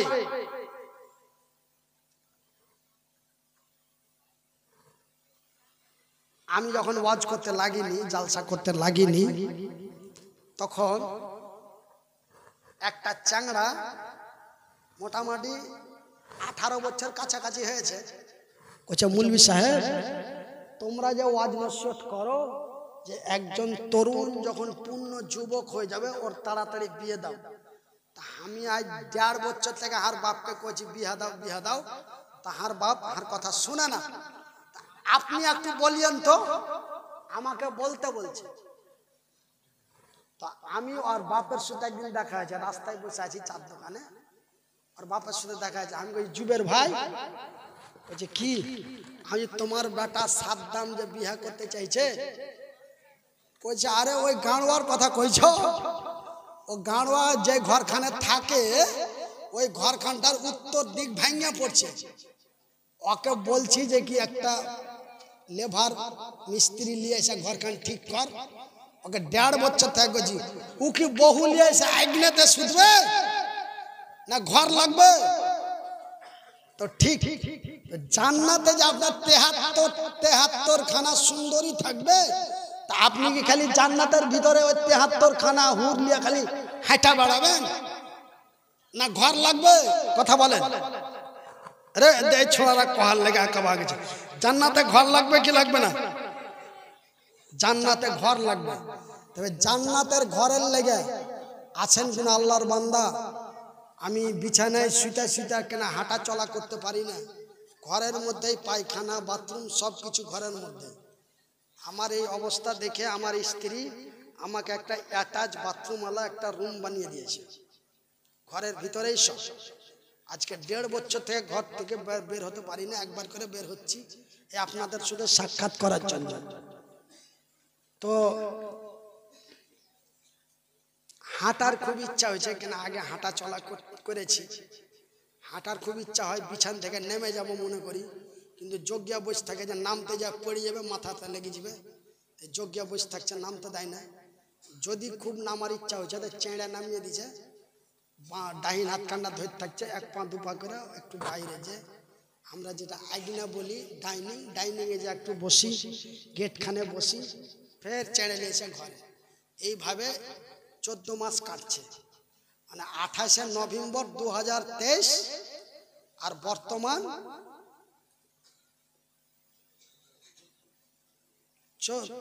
পনেরো জানুয়ারি দু হাজার চব্বিশ। একই অবস্থা। এই অবস্থায় আল্লাহ রব্বুল আলমিনের দরবারে দোয়া করব। এমন কোনো আমার আল্লাহর বান্দা, এমন কোনো আব্বা, এমন কোনো মা, এমন কোনো ভাই আমার এই কথার সম্মানটা রাখবেন, আল্লাহ আপনার সম্মান করবে। একজন দাঁড়িয়ে বলবেন, মনিরুদ্দিন ভাই আপনি একটু আমার জন্য খাস করে দোয়া করবেন, আমি মসজিদের জন্য টাকা পাঁচ হাজার দেব। পাঁচ হাজার একজন, এক হাজার করে পাঁচজন, মাত্র দশটা লোক। দশটা হচ্ছে না, ছটা? যে দেখেন, এরই নাম বেরেন। বুঝতে পারলেন? তো মাত্র ছটা লোক, পাঁচ হাজার একজন, এক হাজার করে পাঁচজন। মাত্র ছটা লোক। আসেন আমার এই হাতটায় মুসাফা করে দিবেন। আমার এই হাতটা যদি মুসাফা করেন, আমি বিশেষ করে আমার হাতে মুসাবা কেন করাই? যে আমার হাতে মুসাবা করলেই আল্লাহর নাম মুখে এসে যায়। কেন? যখনই আপনি আমার হাতখানে মুসাফা করবেন, আসাম মেঘালয়ের দিকে, মেঘালয় বলে একটা রাজ্য আছে, বেটি ছেলে হাত সাথে মুসাফা করার লেগে ছটফট করে। কিন্তু আমি নিষেধ করি যে আপনারা দূর থেকে সালাম দিবেন। ওই আমার যারা খিদমতে থাকে, ওদেরকে বলে দিই। ওরা বলে যে, আপনারা দূর থেকে সালাম করেন কেন? একজন অপ- অপরিচিত পুরুষের সাথে একজন নারী হাত মিলিয়ে মুসাফা করতে পারে না। তো তোমরা দূর থেকে মুসাবা দিয়ে বলে যে, হুজুর দোয়া করবে। কিন্তু মান এই যারা পুরুষ, তারা মুসাবা করে। আর মুসাবা করা মাত্রই বলে সুবাহান আল্লাহ তা আমি বলি সুমান আল্লাহ কেন বললেন? আল্লাহর নামটা কেন নিলেন? সুবাহান আল্লাহ মানে আল্লাহ মহান। তা আমার হাতে মুসাবা করলেই বলে সুবাহান আল্লাহ তবে আল্লাহ মহান বলে সাক্ষী দেয়। আমি বললাম সুমান আল্লাহ কেন বলেন? বলেন, হুজুর আপ- আপনার হাতটা এরকম বানাইছে, আপনি কেমন করে খাচ্ছেন? দেখে খুব মায়া লাগল। এই জন্য আল্লাহর নামটা নিলাম যে আল্লাহ, তুমি কত মহান আমার হাতটা কত শক্ত, কত সুন্দর বানাইছো। আর মনিরুদ্দিন ভাইয়ের হাতটা আল্লাহ তুমি কেমন বানাইছো? এই জন্য আপনার সাথে মুসাফা করলে আল্লাহর নাম আসে। তো আমার এই হাতে মুসাফা করে একজন দাঁড়িয়ে পাঁচ হাজার টাকা দিবেন? আল্লাহর নাম উচ্চারণ উচ্চারণ হবে আপনার মুখ থেকে। মালদা ডিস্ট্রিক্টে কয়েকটা থানা, তার মধ্যে সব চাইতে শিক্ষিত, ভদ্র, নম্র, মানুষের ইজ্জত করে, মানুষের সম্মান করে, অর্থনৈতিক দিক দিয়ে, সমাজনৈতিক দিক দিয়ে, সব দিক দিয়ে কালিয়াচক থানা হলো এক নম্বর। মারামারির দিক দিয়ে, পিটাপিটির দিক দিয়ে এক নম্বর হলো কালিয়াচক। এখন দ্বিতীয় নম্বরে পড়েছে হরিশ্চন্দ্রপুর। মাসে চারটা করে মার্ডার হচ্ছে এখন হরিশ্চন্দ্রপুরে। এখন দ্বিতীয় নম্বরে হরিশ্চন্দ্রপুর জায়গা নিচ্ছে। মানে খাতারনাকের দিক দিয়ে। খাতারনাকের দিক দিয়ে কালিয়াচক ছিল। এখন দ্বি- দ্বি- দ্বিতীয় নম্বর স্থান অংশগ্রহণ করতে যাচ্ছে হরিশ্চন্দ্রপুর থানা। তো কালিয়াচকের একটা নাম আছে আমাদের আমাদের মালদা ডিস্ট্রিক্টের মাদ্রাসার কালেকশন করতে যায় দিল্লি, বোম্বাই, হরিয়ানা, ইউপি, উত্তরপ্রদেশ, মধ্যপ্রদেশ। কিন্তু বিভিন্ন জায়গার লোক কালিয়াচক এলাকায় আসে কালেকশন করতে। ওইদিকে গেলে ওইদিকার লোক খুব দানশীল, মাদ্রাসার কিছু আয় হবে। তা আমি আপনাদের একটা কথা বারবার বলছি, আমাকে খুব খারাপ লাগছে এবং আমার মনে খুব দুঃখ হচ্ছে। যে আমার জীবনের প্রথম দু হাজার আট সালের ফেব্রুয়ারি মাসের একুশ তারিখে আমি প্রথম একটা জালসা করেছিলাম কালিয়াচক থানা সেটা হচ্ছে সুজাপুর গোয়েসবাড়ি মন্ডল পাড়ায় আমার জীবনের প্রথম এসেছিলাম। বিশ হাজার টাকার ডাক দিয়েছিলাম। কানতে কানতে এসে আমার হাতে মুসাফা করে তখন বলার শক্তি ছিল অগণন। নারায় তাকবির বলেছি তো এক মিনিট আওয়াজ হয়েছে মাইকের মধ্যে। তো একটা আওয়াজ দিয়েছি, তো এক মিনিট ধরে মাইক শুধু বেজেছে। আর পাবলিকের চিৎকারে প্যান্ডেল মানুষের মুখের হাওয়ায় পাবলিকের চিৎকারে প্যান্ডেলের কাপড়টা নড়েছে। কিন্তু সেই শক্তি আল্লাহ নিয়ে নিয়েছে। কেন নিয়েছে? কিসের জন্য নিয়েছে? ও আল্লাহি আমার আল্লাহ ভালো জানেন। কিন্তু ভাই, আজকে যদি আপনারা কেউ পাঁচ হাজার, এক হাজার করে আমার হাতে মুসাফা না করে যান, তবে অসুস্থর পরে বড় দুঃখ নিয়ে আপনাদের গ্রাম থেকে যাব। যে আল্লাহ তোমার ঘর মসজিদের জন্য একটা করে হাজার টাকা পাঁচ জনের কাছে চাইলাম। একজনের কাছে তো নয়, কিন্তু হতো আমার হাত নাই, পা নাই, আমি অসুস্থ মানুষ, এই জন্য মনে হয় আমাকে মানে মানে ভ্যালু দিল না, আমার কথাটার মর্যাদা দিল না। তখন আমার দুঃখ হবে, এই দুঃখটা হয়তো আপনাদের কাছে প্রকাশ হবে না। আমি হয়তো নিজে নিজে দুঃখ পাবো আর গাড়িতে বলতে বলতে যাব। যে এত অনাই বিনাই করলাম, কিন্তু এক হাজার করে পাঁচটা লোককে পেলাম না। তো ভাই, আমি এতগুলো মানুষের মধ্যে কোনো আল্লাহর বান্দি নাই। এক হাজার করে মাত্র পাঁচজন আর পাঁচ হাজার একজন। কি নাম ভাই? কি নাম? জুলফিগার ভাই, আমার এক হাজার টাকা, জোরে বলি নারাই জুলফিগার সাহেব, জিন্দাবাদ বলেন। আমার ভাই নৌজওয়ান তরুণ যুবক, হাজরাতে আলীর মতো এক শক্তিশালী। হাজরাতে আলী কে যখন আল্লাহ রসুল বললেন যে তোমাকে ময়দানে যেতে হবে, আল্লাহর রসুল এখানটা ভাঙা তারওয়াল নিয়ে হাজরাতে আলী রেডি হয়ে গেল।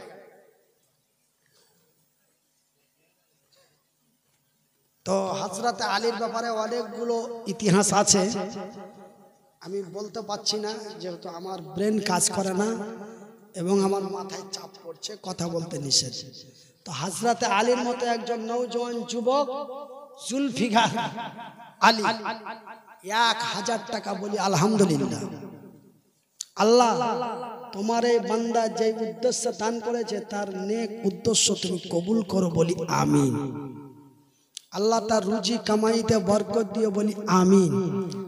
শুধু আজকে দোয়া হবে না, যতদিন আল্লাহ জমিনে বাঁচিয়ে রাখবে, যতদিন বিছানায় শুয়ে থাকবে, আমি জুলফিগার ভাইয়ের কথা মুখের মধ্যে আনব ইনশা আল্লাহ তো আর মাত্র চারজন। এক হাজার করে মাত্র আর চারজন। এক হাজার করে পাঁচজন বলেছিলাম। আপনাদের কালিয়াচক থানার মধ্যে দুটা সুজাপুর আছে না?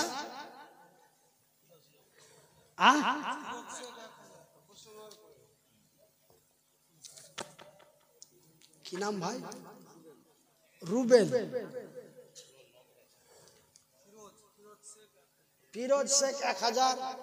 এবং রুবেল এক হাজার। এক এক করে তিনজন হয়ে গেল। জোরে বলি, আলহামদুলিল্লাহ। তো আপনাদের কালিয়াচক থানার মধ্যে বৈষ্ণবনগর থানাতে একটা সুজাপুর আছে। কালিয়াচক থানাতে একটা সুজাপুর আছে, বৈষ্ণবনগর থানাতে একটা সুজাপুর আছে। আমি আমজাদ আলী এক হাজার। বলি, নারায় তকবীর নারায় তকবীর। তো ওই সুজাপুরের পাশে কি গ্রাম আছে একটা?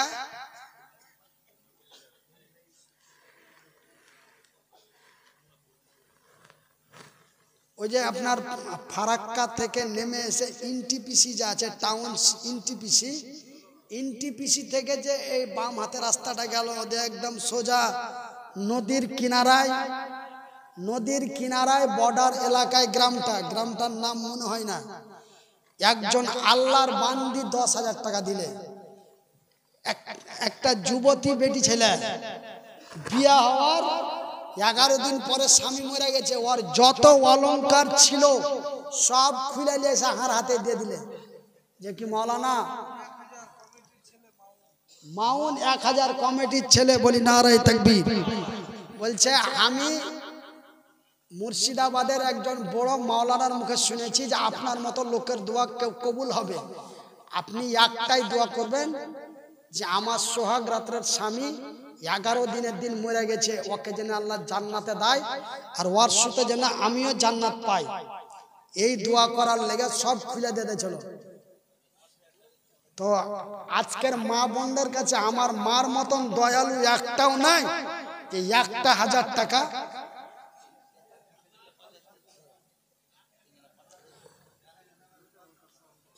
এক হাজার করে কয়টা হলো? চারটার একটা নগদ। পাঁচটা হয়ে গেছে, জোরে বলি আলহামদুলিল্লাহ। কে? আব্দুল মকিম। এক হাজার টাকা বলি না রে তকবীর। আমার মা বোনদের মধ্যে একটা এক হাজার পাবো না? আমার মার এত দয়া ছিল, আর মা আমার মা তাহাজিদের নামাজ পড়তো। আমার মা আমার মতনই অসুস্থ হয়েছিল, এক পা, এক হাত।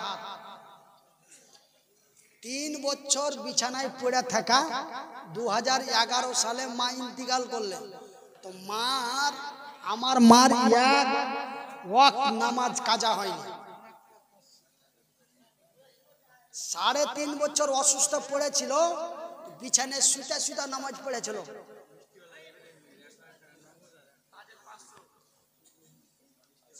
মিষ্টিওয়ালা ইব্রাহিম দুই হাজার টাকা, এক হাজার নগদ, এক হাজার বাকি। আল্লাহ, তুমি তার নেক দান কবুল করো, জোরে বলি আমি তাজেল শেখ পাঁচশো টাকা, জোরে বলি আলহামদুলিল্লাহ। আসেন ভাই কিছু কিছু। একটু দোয়া করে দোয়াটা নেন। দোয়া করে দেওয়ার জন্য পারমিশন হয়ে গেছে এবং আমিও আঁকা বাঁকা করব। আমি যদি বেশি বইকে নিই তবে আমাকে বকনা খেতে খেতে বাড়ি যেতে হবে। আর সাথে যারা আসছে ওই যে একবার মরতে মরতে বেঁচেছ ফের মরার মানে যে কি ওষুধ খেছ এই বলে বলে আমাকে বকতে বকতে নিয়ে যাবে। নাজিয়া নাম? এক হাজার টাকা একজন আল্লাহর বান্দি পাওয়া গেছে বলি, আলহামদুলিল্লাহ। মানে আমি যে দোয়া করব আল্লাহকে বলব, আল্লাহ, এক হাজার টাকা করে পাঁচজন চেয়েছিলাম, দশ জন পেয়েছি। তার মধ্যে পাঁচজন তোমার বান্দা এবং পাঁচজন তোমার বান্দি, এ কথাটা আল্লাহকে বলতে হবে। এই জন্য আমি আপনার কাছে চেয়েছি। কেন? যে শুধু আল্লাহর বান্দাদের জন্য আল্লাহকে বলব, আল্লাহর বান্দিদের জন্য বলতে পাবো না। তো আর মা যখন ভালো অবস্থায় ছিল, তো একদিন আমি প্রায় ওয়াজে বলা থাকি, আপনারা শুনেছেন। একদিন রাত দুটা থেকে আড়াইটার দিকে আমি পেশাব করতে উঠেছি। তখন হাইটা চলে বেড়াতে পারতাম। মানে দু হাজার তিন সালের কথা বলছি। তো পেশাব করে যাচ্ছি, তো হার মা গুনগুন করে কাঁদছে আর দোয়া করছে। আমি কপাটের আড়ালে দাঁড়িয়ে গেলাম। দেখেন আমার মা আমাকে কত ভালোবাসত। ওইলে বলছি যে, হার মার মতন কি একটাও নাই এখানে? এক হাজারটা টাকা পাঠাইবে? তা আমি কপাটের আড়ালে দাঁড়িয়ে শুনছি আর মা কইছে, আল্লাহ, তুমি আমার মনিরের দোকান হাত দাও না দোকান পা দাওনি আজ ওর মা, ওর বাপ বাঁচা আছে, ওর কোনো অসুবিধা হয় না। আল্লাহ যেদিন যেদিন ওর মা আর ওর বাপ, আমরা দুজনা যেদিন মরে যাব, সেদিন হারমোনিরের কি হবে? হারমোনির কার বারান্দায় যাবে? কে দুটা দিবে, কে দুটা দিবে না? আল্লাহ, আমি বাইজিজের মায়ের দোয়া কবুল করে তুমি বাইজিজকে মানে আমার মা অনেক শিক্ষিতা মহিলা ছিল। তো মা বলছে, আমি একদম কান পেতা শূন্য কপাটের আড়ালে। বাইজিজের মায়ের দোয়া কবুল করে বাইজিজকে তুমি সাকসেস করেছ। আমি মুনিরের মা, মুনিরের জন্য দোয়া করছি, তুমি আমার মুনিরের নিরাপত্তা করিও। মা দোয়া করলে দু হাজার তিন সালে, আর আল্লাহর নিরাপত্তা দিয়ে দিলে দু হাজার আট সালে। দু হাজার আট সালের আটই ফেব্রুয়ারি, আঠারোই ফেব্রুয়ারি, প্রথম জালসা কোনো দক্ষিণ দিনাজপুরের বংশীহারি থানায়। ওই স্টেজ থেকে নামতে নামতে পাঁচটা ডেট তারপরে এত ডেট হতে লাগল যে তিন বছর আগে মানুষ ডেট পায় না এক বছর আগে ডেট পায় না এরকম করতে করতে যেমন আল্লাহ ওপরে নিয়ে গেল, এরকম পট করে দু হাজার তেইশ সালে ফেলে দিলে। কেনা ফেললে, কিসের লেগে ফেললে? ওই ভালো জানে।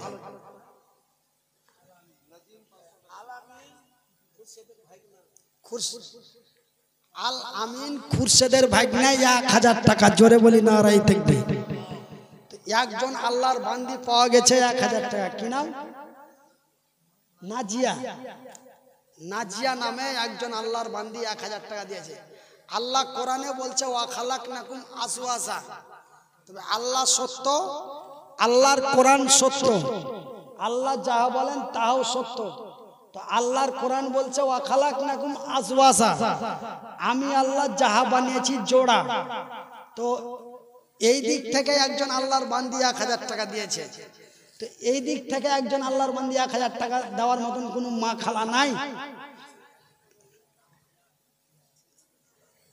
তবে আল্লাহকে বলতে পাবো, আল্লাহ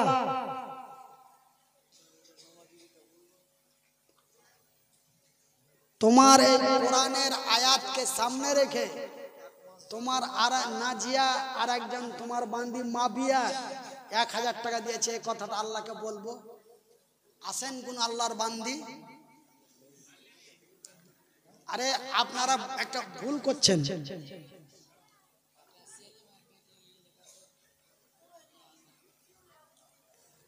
আচ্ছা আপনারা একটা ভুল করছেন।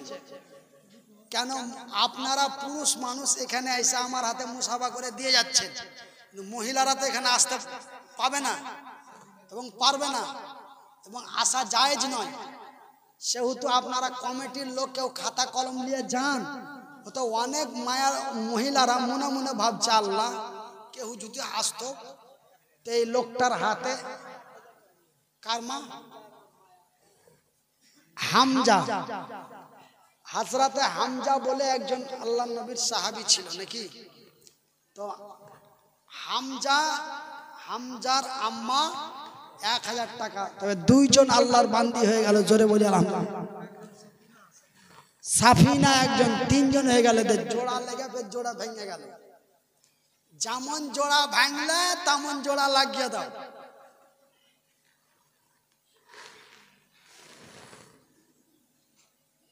আরে বেটা এ, এ ছেলে এক বুধি তোর মা দিবে নাকি? আয় আয় তুই আস্তে আস্তে বসে গেলি যে।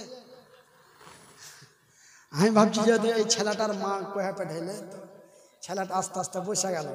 যাতে তোর মাকে যা কহা কথা যে মুলবি সাহেব ভাবছিল যে আমি দিতে গেল আপনারা কমিটির লোকজন মা বোনদের কাছে একটু কাগজ কলম নিয়ে পাঠান।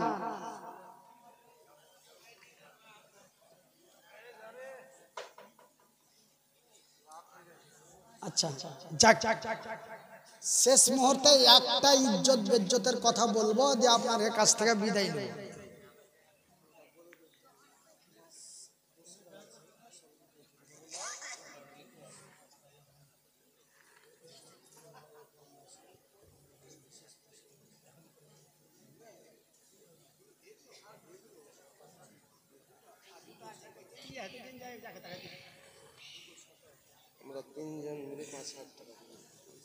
কি, কে কে, নাম কি কি? Saju master. Saidur master, Mahasen master, Alim master. তিনজন মিলে পাঁচ হাজার টাকা, জোরে বলি না রাই থাকবি জোরে বলি না রাই থাকবি কালু এক হাজার টাকা, বলি না রাই থাকবি না রাই থাকবি তবে পাঁচ হাজারও পাওয়া গেল, এক হাজার করে পাঁচজনও পাওয়া গেল বলি আলহামদুলিল্লাহ। একবার অন্তরের ভিতর থেকে বলি আলহামদুলিল্লাহ। আল্লাহ কোনো জায়গায় বেজ্জত করেনি, আজকে আপনাদের এখানেও বেজ্জত করেননি। যাহা চাইলাম, তার চাইতে বেশি পেলাম। তবে দোয়া করার আগে একটা ইজ্জত বেজ্জতের কথা বলব। দেখি, এবার আপনারা আমার যে সম্মানটা রাখবেন, যে আমি পাঁচ হাজার টাকা তিনজনে, তিন, তিনজন মিলিয়ে পাঁচ হাজার টাকা দিয়েছে। আর আমি গোটা প্যান্ডেল মিলিয়ে আর পাঁচ হাজার টাকা চেয়ে অখালাক নাকুম আসবাসা যাহা বানিয়েছি জোড়া। আল্লাহ বলছেন, যাহা বানিয়েছি জোড়া। পাঁচ হাজার টাকা জোড়া, প্যান্ডেলে যতজন আছেন সবারই কাছে নিব। তবে এই ইমাম সাহেব, রুমালটা দাও রুমালটা দাও। হবে হবে, ইনশাল্লাহ। আমাকে আমাকে আমার এই হাতটা দিয়ে রুমালটা আপনাদের কাছে পাঠাচ্ছি। আপনারা এমন একটা আইডিয়া করে দিবেন যেন পাঁচ হাজার টাকা হয়ে যায়। বুঝতে পারলেন? আর আশা করি এইভাবে যদি দেন, দাঁড়ান, এইভাবে যদি দেন, তবে পাঁচ হাজার টাকা অবশ্যই হবে ইনশাল্লাহ হবে।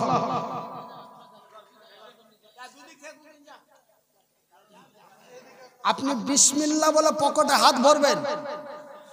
এবার পকেটে হাত ভরবেন তো যা। পাঁচটা টাকা চেয়েছিল, পান খাওয়ার লেগে সে টাকাটাও নাই। খরচা হয়ে গেছে। আপনি বিসমিল্লা বলে পকেটে হাত ভরবেন, টাকা থাক আর নাই থাক। আপনি মুঠটা বন্ধ করে বিসমিল্লা বলে ওই চাদরে ঠেকিয়ে দিবেন। আমি এই মতো হাতটা দিয়ে আমি চাদরটা পাঠিয়েছি এবং চাদরের মধ্যে একটা দোয়া পড়ে দিয়েছি। কাউরি যদি কাউরি যদি কোনো অসুস্থ থাকে বিসমিল্লা বলে চাদরটাতে হাত দিবেন। আপনার পকেটে টাকা থাক আর নাই থাক।